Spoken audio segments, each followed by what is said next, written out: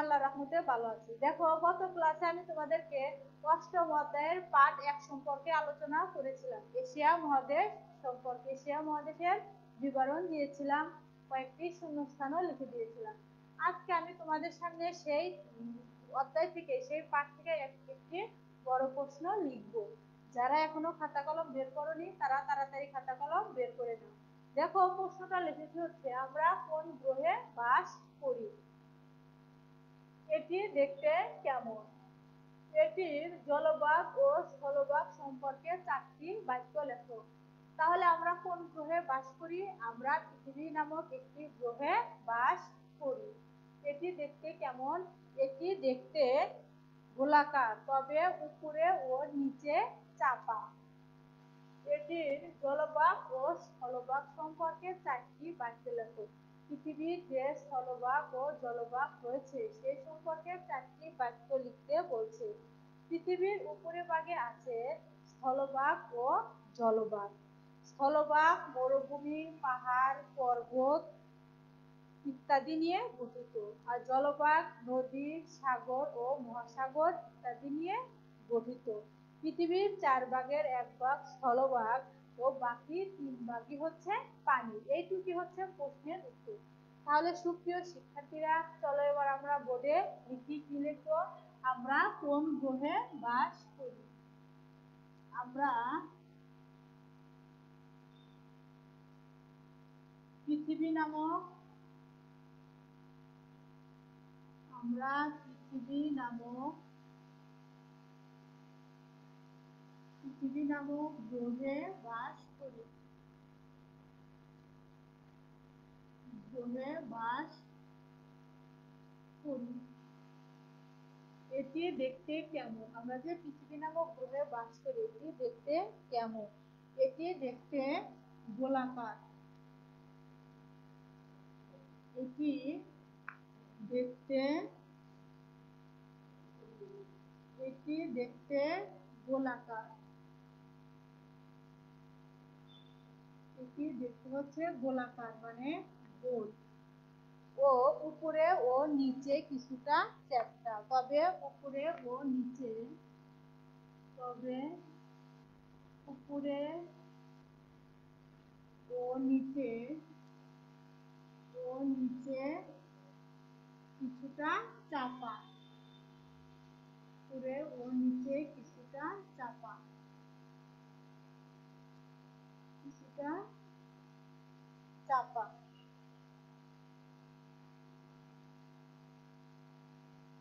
দেখো শিক্ষার্থীরা তোমাদের কিন্তু আগে প্রশ্নটা বুঝতে হবে যে প্রশ্নটা এখানে আমাদের কয়টা প্রশ্ন করেছে। তারপরে উত্তর দিতে হবে। এখানে কিন্তু তিনটা ধাপে প্রশ্ন রয়েছে। আমি কিন্তু তোমাদের সামনে দুটা প্রশ্নের ধাপের উত্তর ইতিমধ্যেই লিখেছি। আমরা কোন গ্রহে বাস করি? আমরা পৃথিবী নামক গ্রহে বাস করি। এটি দেখতে কেমন? এটি দেখতে গোলাকার, তবে উপরে ও নিচে কিছুটা চাপা মানে চাপাকৃতি এবার আমরা লিখব এটির জলভাগ ও স্থলভাগ সম্পর্কে চারটি বাক্য। এটির জলভাগ এটির জলভাগ জলভাগ ও স্থলভাগ সম্পর্কে স্থলভাগ সম্পর্কে চারটি বাক্য। আমাদেরকে কি করতে হবে? এখন লিখতে হবে। সম্পর্কে চারটি বাক্য। চারটি বাক্য হলো। এরকম চারা চারা করে আমাদেরকে কি করতে হবে? লিখতে হবে। দেখো তাহলে চারটি বাক্য কি কি লেখা যায়? প্রথমটা হচ্ছে, পৃথিবীর উপরে ভাগে আছে পৃথিবীর পৃথিবীর উপরি ভাগে আছে উপরি ভাগে আছে, কি রয়েছে? আছে জলভাগ ও স্থলভাগ স্থলভাগ ও জলভাগ স্থলভাগ ও জলভাগ জলভাগ তারপরে রয়েছে, তাহলে স্থলভাগে কি কি রয়েছে? স্থলভাগে রয়েছে, স্থলভাগে স্থলভাগ স্থলভাগ স্থলভাগ সমভূমি সমভূমি রয়েছে, আর কি কি রয়েছে?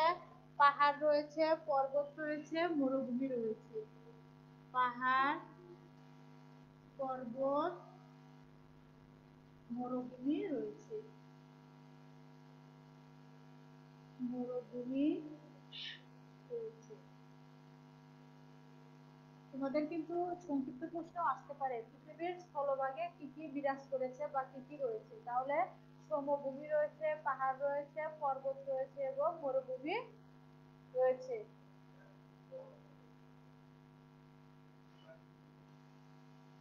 তারপরে দেখো, শিক্ষার্থীরা, এখানে কিন্তু আমরা দুইটা পয়েন্ট পেয়ে গেলাম। এখন দেখো তিনটা, তিন নাম্বারটা কি লিখতে পারি? এটা জলবাগ সম্পর্কে লিখলাম এবার লিখব স্থলভাগ সম্পর্কে লিখেছি। এবার লিখব জলভাগ সম্পর্কে। জলভাগ জলভাগ নদী, সাগর আর কি নিয়ে গঠিত? সাগর, মহাসাগর ও মহাসাগর নিয়ে গঠিত। ও মহাসাগর নিয়ে গঠিত। মহাসাগর নিয়ে গঠিত তাহলে জলভাগ জলভাগ নদী, সাগর ও মহাসাগর নিয়ে গঠিত। তারপরে দেখো কি রয়েছে? পৃথিবীর চার ভাগের এক ভাগ স্থলভাগ।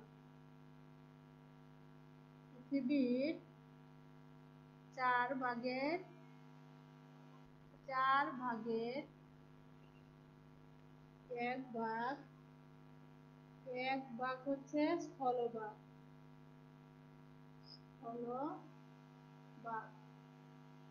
আর হচ্ছে তিন, বাকি তিন ভাগ পানি। বাকি তিন ভাগ পানি। তাহলে পানির অংশটাই কিন্তু বেশি। আমাদের যে পৃথিবী, এখানে কিন্তু আমাদের পানির অংশটাই বেশি রয়েছে। দেখো, শিক্ষার্থীরা, প্রশ্নটা আরেকবার আমি তোমাদের সামনে বলছি। আমরা কোন গ্রহে বাস করি? আমরা পৃথিবী নামক গ্রহে বাস করি। এটি দেখতে কেমন? এটি দেখতে গোলাকার, তবে উপরে ও নিচে কিছুটা কি রয়েছে? চাপ আকৃতি রয়েছে। এটির জলভাগ ও স্থলভাগ সম্পর্কে চারটি বাক্য লিখো। তাহলে জলভাগ ও স্থলবাগ সম্পর্কে আমাদেরকে চারটি বাক্য লিখতে হবে। দেখো চারটি বাক্য হচ্ছে, পৃথিবীর উপরে ভাগে আছে স্থলভাগ ও জলভাগ। জলভাগ সমভূমি, পাহাড়, পর্বত ও মরুভূমি রয়েছে। আর জলভাগে কি রয়েছে? সমভূমি রয়েছে, পাহাড় রয়েছে, পর্বত রয়েছে মানে যেখান দিয়ে মানুষ হাঁটা চলা করতে পারে, এক কথা। আর জলভাগ হচ্ছে নদী, সাগর, মহাসাগর নিয়ে গঠিত মানে পানির নিচে যেগুলো, সেগুলো হচ্ছে জলভাগ। পৃথিবীর চার ভাগের এক ভাগ হচ্ছে স্থলভাগ ও বাকি তিন ভাগ হচ্ছে কি? তিন ভাগ হচ্ছে পানি। যারা শিক্ষার্থীরা এরকম আর একটা প্রশ্ন আসতে পারে, পৃথিবী কি? তাহলে পৃথিবী হচ্ছে একটি গ্রহ। এটির স্থলভাগকে কয়টি ভাগে ভাগ করা যায়? এটির স্থলভাগকে সাতটি ভাগে ভাগ করা যায়। চারটি স্থলভাগের নাম লেখো। চারটি স্থলভাগ হচ্ছে, তাহলে সেখান থেকে আমাদের সাত সাতটি যে মহাদেশ আছে, সেখান থেকে চারটি মহাদেশ সম্পর্কে লিখলে কিন্তু হয়ে যাবে। তাহলে এশিয়া মহাদেশ, ইউরোপ মহাদেশ, আফ্রিকা মহাদেশ, উত্তর আমেরিকা মহাদেশ। তাহলে শিক্ষার্থীরা দেখো, আজকে যে তোমাদের একটা গুরুত্বপূর্ণ গুরুত্বপূর্ণ প্রশ্ন আলোচনা করলাম, সেই প্রশ্নটা তোমরা সবাই খাতায় নোট করে মুখস্থ করে নিবে। আজকে আর নতুন কোনো প্রশ্ন করাবো না। যে প্রশ্নটা আলোচনা করলাম সেই প্রশ্নটা পরবর্তী ক্লাসে তোমাদেরকে লিখে দিব। তাহলে সবাই ভালো থাকো, সুস্থ থাকো। আল্লাহ হাফিজ। আসসালামু আলাইকুম।